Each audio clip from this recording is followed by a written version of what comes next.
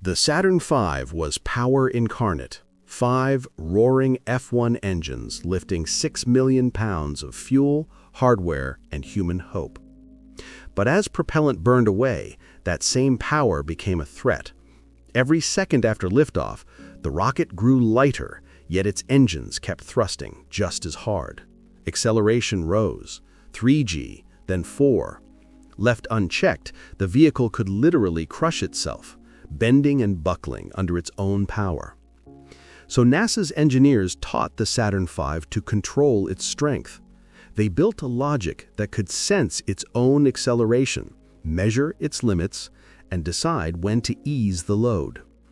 And at 2 minutes and 15 seconds into flight, the brain of the rocket, the instrument unit, quietly commanded a single act of self-preservation. Shut down the center engine.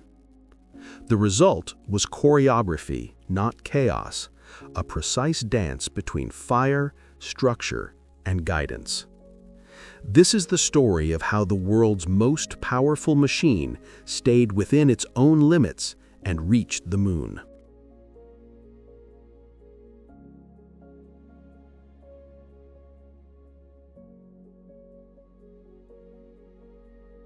Every launch begins with a battle against air. As the Saturn V climbs, the atmosphere fights back until the moment of maximum dynamic pressure, max Q, around 66 seconds after liftoff. At that instant, aerodynamic stress peaks near 700 pounds per square foot, approximately 3.4 kilopascals. Flight controllers at Marshall and Kennedy monitor that value on their consoles. It defines how hard the air is pushing against a 364-foot tower of fire.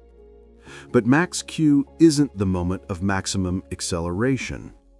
Once the air thins, drag drops away, yet the five F1 engines keep delivering 7.5 million pounds of thrust. As fuel mass falls from about 5.1 million pounds at liftoff to roughly 3 million by stage separation, the math is merciless.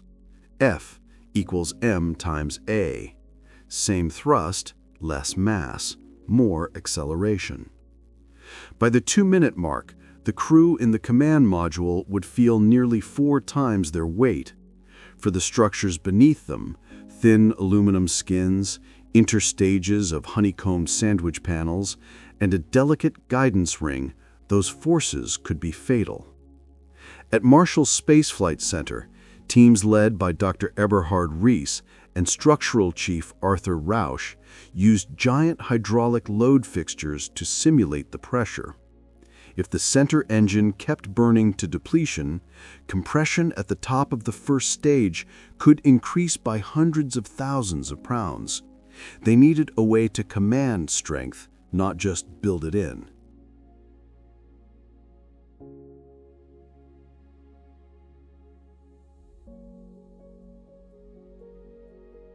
Resting like a white band between the second and third stages was the instrument unit, the IU.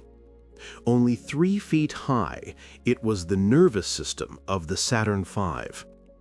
Inside its curved walls lived three marvels of engineering. The ST-124M3 stabilized platform, a gyroscopic heart that sensed every tilt and twist.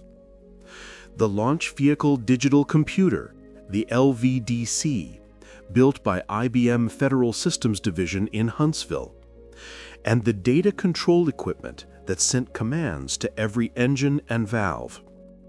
Before each launch, technicians aligned the platform with optical theodolites and quartz prisms from the mobile service structure.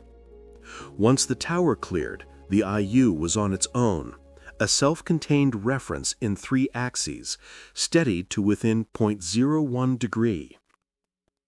The ST-124's gyros floated on films of nitrogen gas only 20 microinches thick. Accelerometers inside the beryllium frame registered changes as tiny as one ten-thousandth of a G. Every pulse of motion flowed to the LVDC, a fully redundant computer with 16-bit logic and a reliability goal of one failure per billion operations.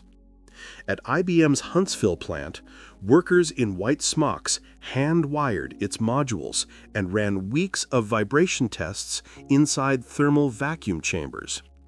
Each unit was spun on a 20-foot rate table to prove it could track motion in all three axes. Through this network of sensors and circuits, the rocket felt the world, its motion, its acceleration, its stress. From those signals, the LVDC computed velocity, position, and longitudinal acceleration in real time. When that value crossed a predicted limit, the computer did not ask for permission, it acted.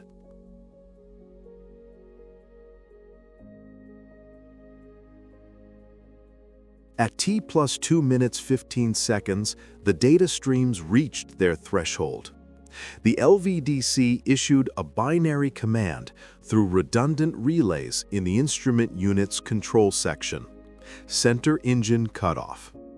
Instantly, five F1 engines became four. Acceleration fell from nearly 4G to about 3. Inside mission control, a green indicator lit. CECO, confirmed. This was no timer-based event.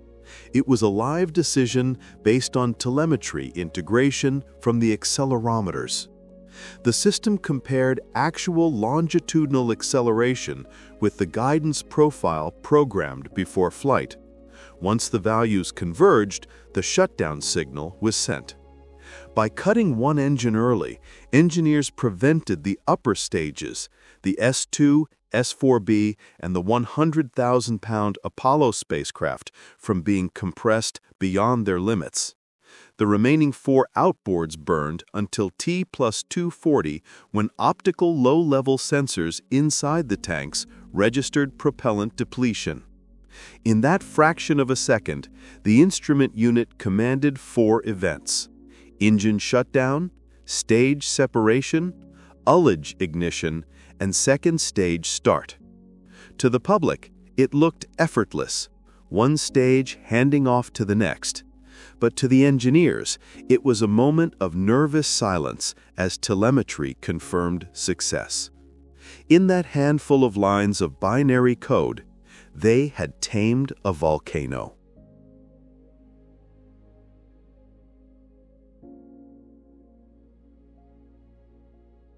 The Saturn V's frame was a study in opposites. Light, yet strong. Aluminum alloys only 0.07 inch thick carried loads that would crush a battleship. At liftoff, compression through the S1C and S2 interstage exceeded 7 million pounds. As acceleration rose, so did stress. At Marshall, engineers mounted a full-scale interstage on a hydraulic vibration stand to measure bending modes. They found that if the center engine stayed on until propellant depletion, axial load at the instrument unit support ring could increase by 30 to 40 percent. That was unacceptable. By programming CE-CO, they flattened the acceleration curve and kept bending moments within the structural margin. Telemetry from Apollo 8 and 11 later confirmed it. The actual loads never exceeded the predicted envelope. When you watch the film of a Saturn V rising, you can see the benefit in motion. The vehicle flexes gently, but never whips. It was a controlled dance of tons and inches. Inside the instrument unit, temperature sensors tracked heat from the S2 engine plume below, while shock mounts protected the delicate gyros from vibration. Every flight recorder confirmed the system stayed within safe temperature and stress limits.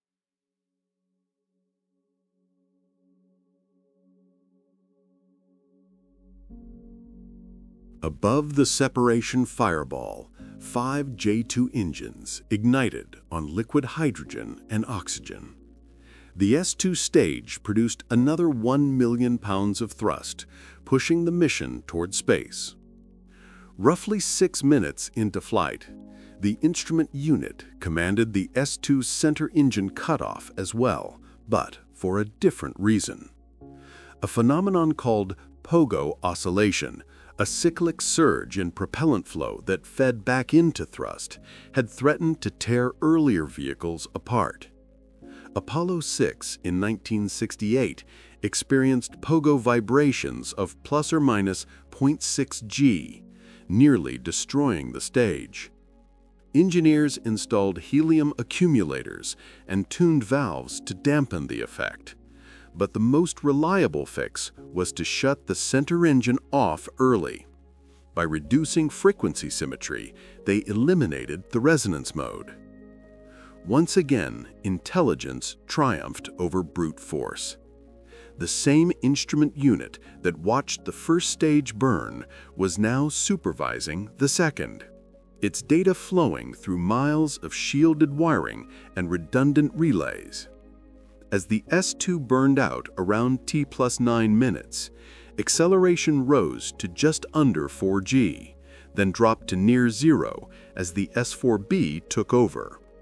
The crew felt weightless for the first time but the instrument unit was still working, tracking, calculating, commanding.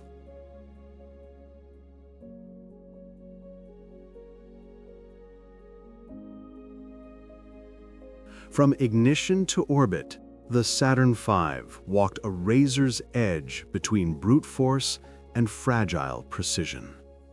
Its engines never throttled, yet its mind did. Through sensors and software, it kept every flight within a narrow band of safety. No more than 3.9 G on the crew. No excess compression on the upper structure. No uncommanded bending modes. The engineers behind this logic worked with slide rules and analog simulators the size of rooms. They calculated in imperial fractions and binary pulses, and they got it right every time. Between 1967 and 1973, the Saturn V flew 13 times. Not one failed to reach space. That record remains unmatched.